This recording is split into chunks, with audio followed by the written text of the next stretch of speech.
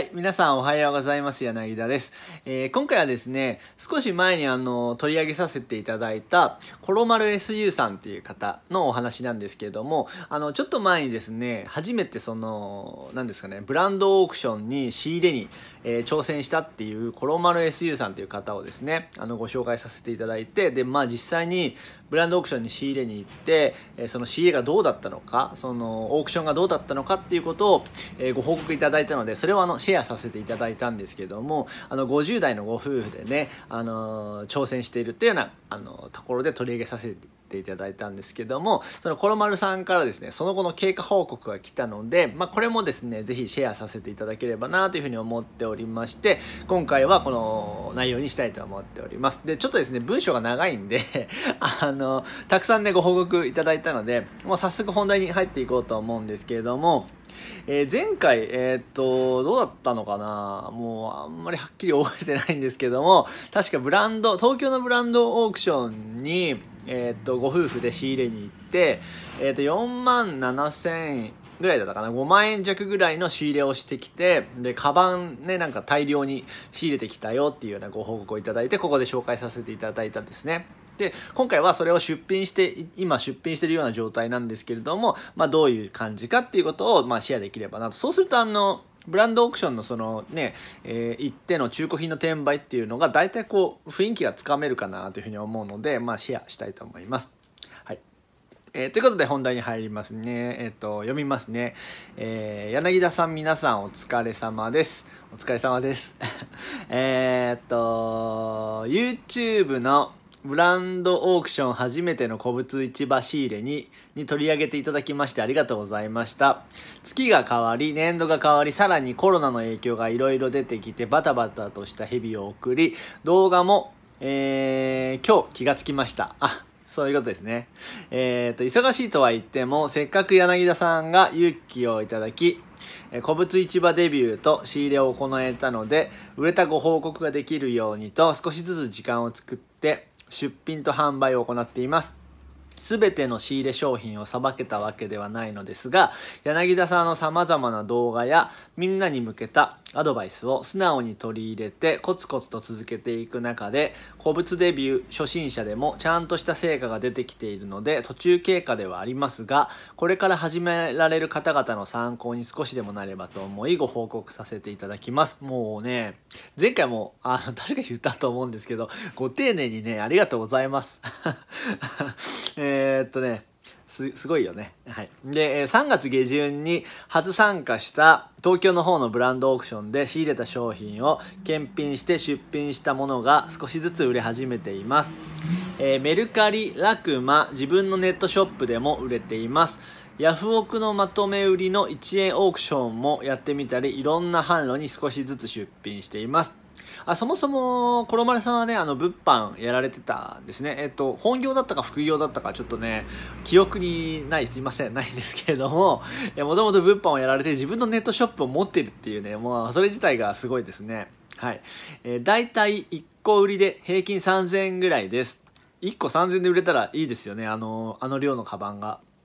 で、ハイブランドは個別の競りが多く、高く売れる可能性もありますがその分競り落とす価格も跳ね上がり初心者の自分が関わる範囲ではないと思ったのと最初に自分の出せる予算を決めて参加したので個別の高い品物よりも山でまとめて出される手頃な価格のものを仕入れたので売れる相場も変わりやすい価格帯で出せるものを中心に考えれば3000円ぐらいでも改善よく売れ、うん、回転よく売れる方がやってて楽しいですし売れなくてもダメージ大きなダメージはないかなと個人的には思っています。それでも状態の良かったものは4000円台後半とか5000円ぐらいでも売れましたっていうことですね。えー、っとなんだっけ？うーんとそうですね。高いハイブランドのものはやっぱりブランドオークションでも値段が上がっていっちゃうので、まあ、当然5万円で売れるものは、ね、仕入れ価格も4万円とかいうね4万いくらとかになっちゃうんでもちろん参加してる人はみんなその商品が高いっていうことは分かってますからね。しかもまあプロがほとんどですから、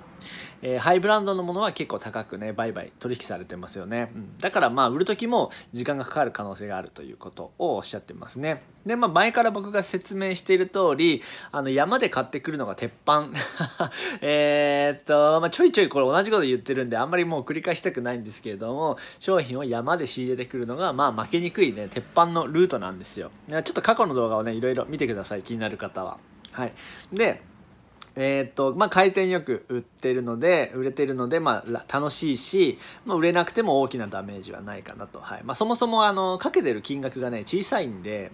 あの、まあ、そんな感じなんですよ、はい、で今のところ12個まとめ売りなどが14出品のものが売れて、えー、うんとちょっと内容がわからないんですけども全部のフリマなどを合わせて4万7500円程度の売り上げになってるっていうことですね。でで、えーと、初参加の仕入れ金額は税込みで4万7000円ぐらいでしたので現時点で仕入れ代金は回収できていますと。はい、もうだから、あのー、仕入れたお金原価は全部回収しちゃってで残ってる商品の原価がもうゼロな状態ですね、はい、だから毎回僕が言ってる通りに、えー、とっとと原価は回収しちゃって残った商品の原価はゼロにしちゃってあとは煮るなり焼くなり好きにしちゃおうよっていうね、まあ、これですね、うんまあ、これがねもうね鉄板なんですよ。あのー大量にね山で仕入れてきてで仲のいいものちょちょって売ってで原価回収しちゃってあとはもうゆっくりやればいいいいかなっていうね。そうするとあの金銭的にも精神的にもよろしいじゃないですか。ねまあそもそもかけてるその仕入れの金額もまあそんなにね大きなものではないのであのー、まあそんなにもともと負担があるかっていうとそんなにそんななんかねきつい借金を背負ってとかね、あのー、資金繰りに困っちゃうとかもないしあのちっちゃくやってる分にはねその方がいいんですよね。でまあ精神的に楽じゃないですか。でやってて楽しいしはい。まあそんな感じです。いつも言ってるような感じですね。はい。で、えー、ちょうど前回3月下旬の初参加した時の総仕入れ点数が53点ぐらいで山の仕入れが8山でした、えー、まだ出品中と出品準備中の品物が半分以上ある状態で仕入れ代金がペイできたので気持ち的にも楽になりましたと、えー、だから53個 8山買ってきて、えー、っと商品の点数が53点あって半分なんでまあ25点ぐらい25点ぐらい売って、まあ、原価を回収して、まあ、残った25個があの何？あのもう全部利益っていうことですね。売れたら全部利益になるよっていうような状態ということですね、はい、で妻が自分が使いたいと強奪されたものかっこ笑い、えー、セットにしても売れないだろう。値のつけられないゴミとなりそうな小物などもありますがあとは売れるだけ全部利益という状態になったのは嬉しいことです。あまあそういうことですね。はい。えー、ここからは柳田さんが動画でお話しされている通り仕入れ代金がペイできればあとは原価0円になるので精神的にも楽になります。はい。あまあそういうことですね、えー、無理して高値でなかなか売れない価格にするよりはあとは売れれば全て利益になるという状態で気楽に販売できるので同程度の状態や質であれば他の人より思い切って安い価格設定にしても痛く、え全く痛くないですしまた価格を下げることで注目もされやすく売れやすい販売ができますのでいい回転が回りやすくなると思います。はいまあそういうことですね。はい。ななんであのー、まあ、この状態になってしまうと正直言って圧倒的なその優位なあのポジションにいることになるんですよ。他の出品者と比べた時に。であのー、例えばメルカリだと値段交渉来るじゃないですか。で希望の価格にも、え全然答えやすくなるしえー、あとなんだ価格競争になっても、えー、全然勝てるしだってもう原価ゼロですからね。他の人はねその1点を仕入れるとか自分で使うためにね結構お金出してるじゃないですか。でも僕らはこの時点で原価がゼロになってるんであの圧倒的なねこの優位性があるわけですね。であのー、ていうのかな出品してるものが、えー、全然売れないっていうような状態になったとしても全体の価格を全部下げることができるじゃないですか。今日はじゃあ、うん、全ての商品を10%ずつ値下げしていこうかなとかそういう日を作っちゃえばガガガってね全全体を下げてであのポコポコ売れ始めるみたいなことが全然あるんですよ。だからあのそういう状態になるっていうことですね。結構これで優位性が保てるんですね。これでやっと僕があの過去の動画で解説してるメルカリの売れるコツっていうものにこうつながってくるわけですね。はい。えー、そうするとこの状態になると僕が言ってる意味がね、全部ね、あの、つながってくるんじゃないかなと思うんですけど、どうだろうな。まだ、まだ、うん、まだまあ、コロマルさん分かってもらえるかもしれないんですけどね。だからこういう状態になるとね、悪い評価気にしないとか、あのー、値下げ交渉が来た時に、いいねの数を見て判断しましょうとか、あと、なんだっけタイムラインのこと？タイムラインもあの上位表示させるために値下げをしてまた元に戻すっていう手法がなんか流行ってますけどあれやらない方がいいですよって僕は言ってると思うんですがあれもあの動画の中でタイムライン上位表示させるために値下げをして僕はそのまま値下げをしたまんま売っちゃいますよっていうことを伝えてるんですけどもそれはねこの状態にいるから可能な部分が大きいんですよ実は。はい。えー、なのでこの状態に来ると僕が言ってる売れるコツの部分が全部ね活用できるようになってくるんですね。うん。まあそんな感じです、はい、次行きましょう。えーと、なんだっけ、えー、無理して、うんと、痛みや汚れなどが多いものは、えー、状態がジャンクみたいなものもあって、まとめてバッグや財布を集める、まとめ売りやセット販売ならば1円オークションとかにかけても、入札者も多くついてくれることが分かったので、販売の販路がたくさんできたことで残りの商品もどんどん売っていこうと思いますっていうことですね。はいそうですね。えっ、ー、と値段がつかないものはあのあのまとめてどっか貯めといてヤフオクに出せばいいんですよ。1円出品とか100円出品。これもね全部僕が言ってるんで過去の動画で。あの多分コロマルさんもそれを見てこうやろうっていうふうに思われてるのかもしれないですね。まあ分かんないですけど。はい。えー、ただ何でも出せば売れるというわけではなくタイトルであったり説明文や画像などをしっかり多く情報を記載するなど買われやすい売れやすいお得感とか買ってもらいやすい工夫やアピールは必要だと思います。はい。えー、古物や中古といえども他のネット販売や店舗などの販売も全て言えることだと思います。まあこれはまあね当然そうですよね。でどんな風に進めていけばいいかわからない方は柳田さんの YouTube が本当におすすめです。はい、えー、先人に学ぶ成功者を真似る、えー、それが成功やうまくいくコツだと思います。だってその教えてもらった方法でその人が成功しているのなら真似しないのはもったいなさすぎです。私もかなり真似しています。いろんな部分を、あ、柳田さん丸写しやコピペはしていません。80%くらい参考に、あとは言い回しや文面、えー、マークとかは変えたりして、出品文は毎回書くひな形文とかプロフィールなどなど、だから売れているんだろうな、うん、きっとそうだ、笑い、ありがとうございますっていうことですが、えー、っと、そうですね、あの、自己紹介の文章とか、えー、っと、商品の出品のその説明文のひな形とか、えちなみに全部ね、あの、YouTube であります。ありますし、ノートでも販売してます。すいません。ちょっとお知らせになっちゃう、これ。えー、っと、ノートの方でも、このあのひな形をそのもうそのままコピペして貼ればいいっていうような状態にあのできるようにノートでも販売してるんでぜひあの見てください。あとメルカリ攻略法っていうやつで、えっと、3980円で売ってます。すいません。じゃあお知らせになっちゃった。うん。はい。まあそんな感じですね。だからまああの丸コピー丸コピは、まあ、してませんって書いてますけどまあ別に丸コピでもいいですよ。もう。いいし、まあ、できればなんか自分の言い回しに変えた方がいいかなとは思いますけど結構ねこの僕のその自己紹介の文章と商品説明の文章をね使ってる人増えてるみたいなんでまあ別にいいですよ、まあ、そのうちねあの 何みんなみんな僕の文章になっちゃうかもしれないけどまあいいんじゃないですか。はい。えー、で会社員の副業で物販を行っていますが、えー、個人事業主としての届け出はしてます、はい。でえーと、Amazon のプラットフォームが今まで主体でしたが新品販売などはネットの電脳仕入れでも店舗仕入れでも利益を残すことは本当に大変で途中からメーカー、えーと卸問屋にシフトしながら続けている状態でも利益率としては20%前後ぐらいの状況となっています。しかも安定的に回すには資金が必要ですしクレカで回す場合も非常に精神的に不安が続きます。もうねこれは全部僕が過去の動画でね言ってる通りなんですよ。これねしんどいんですよ。物販のねしんどいのはねここで、えー、利益率が低いっていうのとえーと、その仕入れのためのあの資金が結構必要っていうことですね。でセドリ系は大体クレカで回すんであの、まあ、ポイントをね取るためっていうのもあるとは思うんですけれどももうねあのクレカ枠いっぱいまで仕入れてで転売してでそのクレカの請求が来る前に現金化して支払うっていうのをずっとこうね自転車操業で繰り返すんですよ。そうするとねあの精神的にねしんどいんですよね。あの慣れてるそのプロの方はいいんですけどあの MS さんみたいにね前回取り上げた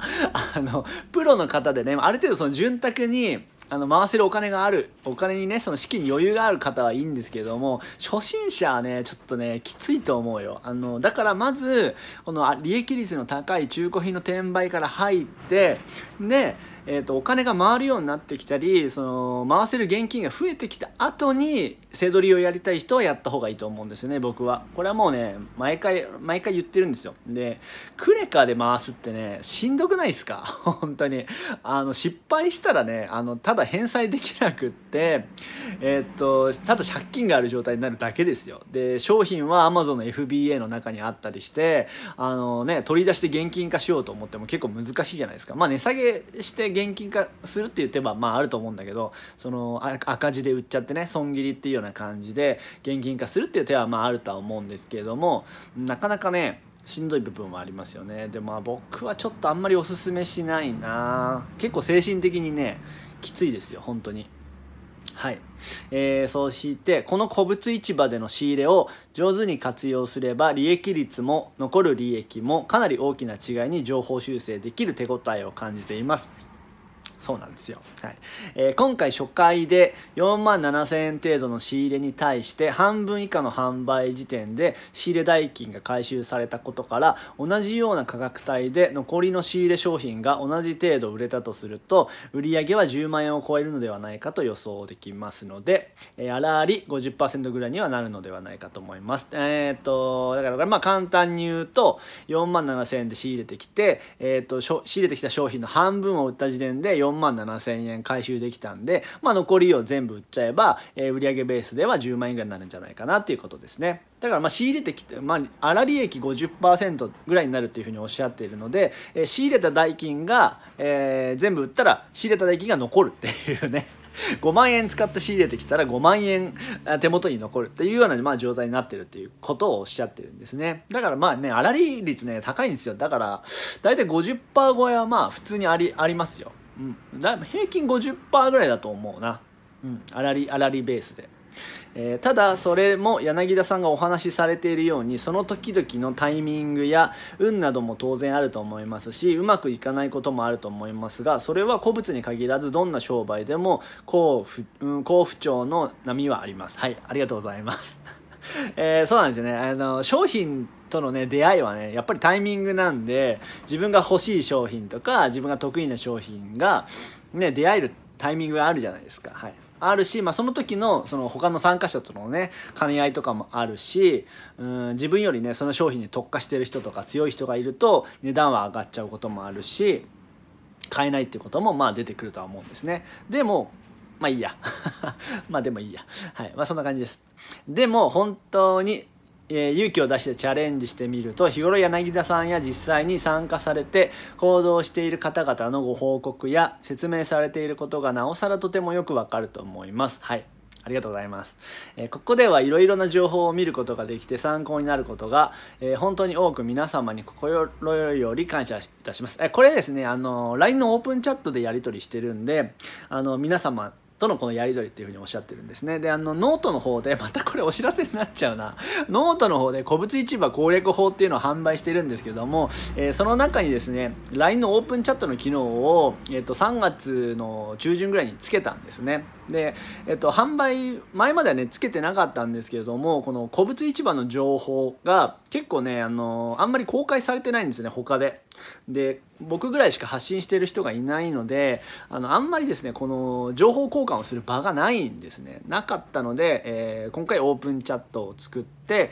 でそこで僕のその古物市場攻略法を買ってくださった方が情報の交換ができるように、しました。で最近ではですねあの人数が増えすぎちゃって現時点でね36070人ぐらいが参加してくださってると思うんですけども、人数が増えすぎちゃってであの過去のですねやり取りが追えないとか あの人数が多すぎて収集がつかなくなってきたっていうのがあって今はですねエリアごとのあの部屋をさらにあの分割して作ってます、えー、北海道東北地区と、えっと、関東甲信越近辺のエリアとあと関西九州沖縄地区ですね。このエリア。この3つにね分けて再度もともとのオープンチャットですね。古物市場攻略法のオープンチャットがあってその下に紐付けてこう3エリアごとにこう分けた地域別のやつを作ってますね、はい、だからみんな皆さんここでですねわちゃわちゃあの情報交換をして、えー、たりします、はい、だからこのコロマルさんのこのあのえ現状報告の、えこの文章もですねその中であのやり取りされたものになってます。はい。それを僕がですね動画で使わせていただいているっていうようなありがとうございます。はいえー、で、えー、フリマやヤフオクなどしか思い浮かばなかった販路もリアルフリーマーケットやジモティなど他にもアイデア次第でたくさんの販路で販売可能なことも分かりそのような販路も一つずつ取り入れて実践しようと思いますということで、えー、これもまあ僕が言ってることを、えー、コロマルさんが取り入れてくれてってるんだとは思うんですけれども、えー、販路がねたくさんある方が、えー、とにかく有利なんですよ。まあ当然なんですけど考えてもらえればわかると思うんですけども販路がメルカリだけの人よりもね販路売り先がヤフオクもあるアマゾンもある、まあ、メルカリラクマジモティリアルフリーマーケットと、え古物市場で販売する、えー、店先で売る、えー、eBay で売るとか、えー、ね、こんな感じでメルカリ1個しか売り先がない人と売り先が9個今みたいにある人とでは圧倒的に違うんですね。優位性が。もう仕入れの段階でも変わってきますね。メルカリで1000円しか売れないものが eBay だったら5000円で売れるみたいなことって全然ねあの想像してもらえれば分かると思うんですけどもあるじゃないですか。この時にメルカリで1000円メルカリしか販路がない人は売り、ね、売れるその売り上げの金額が、えー、1000円なわけだから仕入れ金額はもう500円とかになっちゃうわけですね。でも eBay で5 5000円で売れるルートを持ってる人は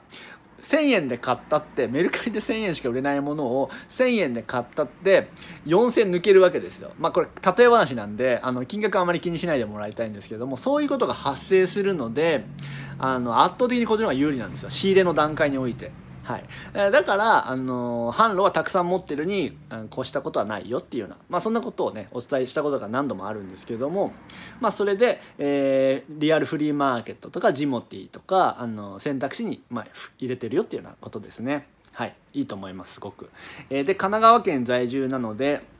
えーと、そっちの方の道具市場にも参加してみたかったのですがブランドオークションの手応えが良かったので同じ市場でも開催日や月が変わればまた違う品物もいろいろ出てくると思うのでもう一度ブランドオークションに行ってきます。はいいいですね。うん。まあでも道具市場も面白いですよ。えー、でも道具市場も参加したいので、あ、そうですね。えー、コロナの影響で延期や中止になる市場もありますが、えー、他の市場も開催予定と自分の休みが合えば、え4月のどこかで参加してみたいと思いますということですね。はい。えー、やっぱりいろいろあの試しに行ってみる方がいいと思いますよ。そうするとあの、思いもよらない商品が、え自分には向いてるんだっていうことに気づく場面がねいつか来ますよきっと。今まではそのブランド品とか、えー、バッグとかねアパレルのものが自分は楽しいとか、えー、売りやすいとかっていうふうに思ってたかもしれないんですけどももしかしたらね全然違うものもう例えば前回少し前に話したエアーガンとかね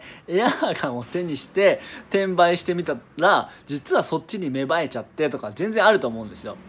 もしくは骨董品が、えー、好きに好きだなとか実際ねやってみるとねやっぱあね出てくるんですよそういう芽生えが。それがね面白いと思いますよ。面白いと思いませんか？今までね自分が手にすることのなかったものを手にした瞬間が来るんですよ。もうねありとあらゆるものが古物市場にはあるのでその瞬間がね楽しいんですよね。ピカーって感じですよ。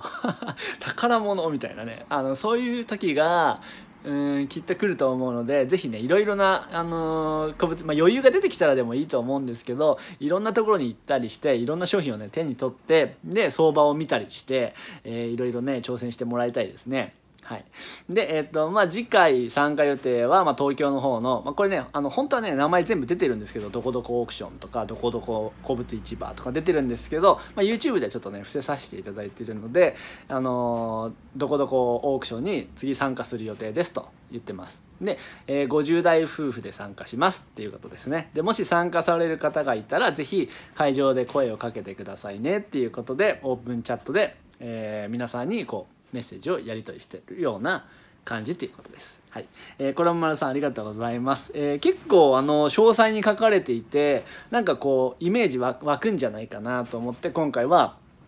取り上げさせていただきました。はい。えー、このような感じでですね、あのー、やっぱりね、その行ってみてどうだったかっていう報告があのたくさん今増えてきてて紹介させてもらってるんですけど今のところねあのその損したっていうメッセージは今のところ来てませんね。あの何も買えなかったっていうような報告は、えー、ちょこちょこありますけれども今のところ損をしたっていう報告は全然なくってみんなこんな感じでねあの、まあ、割とうまくいってるんじゃないかなと思いますね。でこれはですねまあこれもね毎回言ってるんで繰り返しになっちゃうんですけれどもあのー、このこの中古品の転売その古物市場を使った転売っていうこのスキーム自体があの失敗しにくいモデルにそもそもなってるんですよでさっき言ったみたいに低資金で始められるっていうこととクレジットカード使えませんからそもそもね低資金で始められちょっとお金があればできるんですよさっきみたいにこのコロマルさんは4万7000円ぐらいで始められてると思うんですが僕が始めた時は8万円だったんですね8万円しかお金なくって8万円で仕入れを始めたんですですよ。で今みたいなコロマルさんみたいな感じで1回仕入れて全部売り切っちゃったら10万円残るわけじゃないですか。4万7000円だったものが10万円につきはなると。で次またねブランドオークションに行って10万円分仕入れすればいいじゃないですか。そしたらその10万円が20万円になるんですよ。あらり50%だったらね。で20万円になったら次またブランドオークションに行って、えー、20万円分買えばいいんですよ。そしたら次40万円になるんですよ。ね。時間はかかるかもしれないけどまあもしかしたら商品もそんなに買えないかもしれないけど複数そのね古物市場とかブランドオークション行ってみないといけないかもしれないけどまあ副業にはねちょうどいいんですよそんな感じが。でその元での全部失敗しちゃってね仮にね仮になんかすんごい失敗しちゃって全部0円になったとしても元ではね4万7000円しか使ってないんであのそんなね100万円とか200万円借金を負うとかいうモデルにはなってないんですね。で基本的に僕がこの動画で全部解説してる通り商品があったら相場を検索してで自分で売れるっていう金額をイメージしてそれに対していくらで買えるかっていうような、えやり方で買ってくるわけですね。だから、えー、っと例えば3万円で売れる商品があったら自分でね検索してあ3万円でこれ売れるわっていうふうに思った商品があったとしたらじゃあ1万5000円までで買おうかなとか2万円までで買おうかなって計算するじゃないですか普通に。そうすると買えた時点で利益確定なわけですよ。ほぼ。ほぼ。その中古品で3万円で売買されているものが何かのきっかけでねリーマンショックとかコロナコロナのね、影響とかいろいろあるかもしれないんですけども中古品で3万円で取引されているものが何かのきっかけで1万円でしか売れなくなるっていうことってそんなないんですよ。ほとんど。だって中もうそもそも中古品なんですよ。新品のものが値下がりして売らあの売られるっていうことはあると思います。でも中古品で売買されているものがいきなり価値が半分になるっていうようなことはねほとんどないんですよ。だから自分でこうやって利益計算をして商品を変えた時点でほぼ利益はね確定しているわけですよ。ね、3万円で売れるものを2万円で買うことができれば1万円の利益がもうほぼ確定してるような状態なんですね。で買えなかった場合ね競りに負けて2万円で買えなかった場合にはただ買えなかったっていう事実が残るだけでマイナスなんて何もないじゃないですかもうただそれだけなんですよ。だからねあの失敗して借金をねドバーって抱えるっていうようなリスクがほぼない。まあただ自分の手間とかはありますよ。あの時間かけて古物市場とかブランドオークションに行ったんだけど何も買えなくってこのね今日一日無駄にしちゃったわっていうようなことはあるかとは思うんですけれども金銭的なマイナスを食らうっていうことはまあねよっぽどじゃないとないこのね3万円で売れるって 思ってたものを10万円で買うとかねあの5万円で買っちゃうとかねあの競りで熱くなりすぎちゃってねあの高く買いすぎちゃったっていうようなことはまあなくはないとは思うんですけどさすがに3万のものを10万で買うっていうことはまあそうそうないですよ。まあ仮にあってもねマイナス10万円っていうことで、えー、それはもうね反省して諦めるしかないかなっていうような部分にはなってくるんですけども。めちゃめちゃ大きい借金を背負おうとか失敗するっていうことはないので本当にねあの副業としてはおすすめですね。で初めてあの何かに取り組むビジネスに取り掛かる方には本当におすすめじゃないかなというふうに思っております。はい。まあそんな感じですね、うん。えー、ということで今回は以上にしようかな。ちょっと長くなってしまったんですけれども、えー、コロマルさんがですねブランドオークションに挑戦して、まあ、その結果のご報告でした。はい、えー、ちょっとね興味を持った方はですねまあ是非チャンネル登録をしてですね僕のその過去の動画も見てもらえればなというふうに思っております、えー、ノートのねあの販売とかまあ詳しい情報に関してはこの動画のですねあの詳細欄に URL が貼ってあるのでまあチェックしてみてください。以上かな。以上にしたいと思います。でまあ質問とかですねあの随時受け付けてますので YouTube のコメント欄からでもいいですし Twitter のコメあの DM でも構いませんので、えー、ぜひですねあの僕とコンタクトを取ってください。まあ気軽にメッセージを送ってもらえればと思います。はい。ということで今回は以上にします。最後までご覧いただきありがとうございました。次回もまたよろしくお願いします。バイバイ。今日も一日頑張りましょう。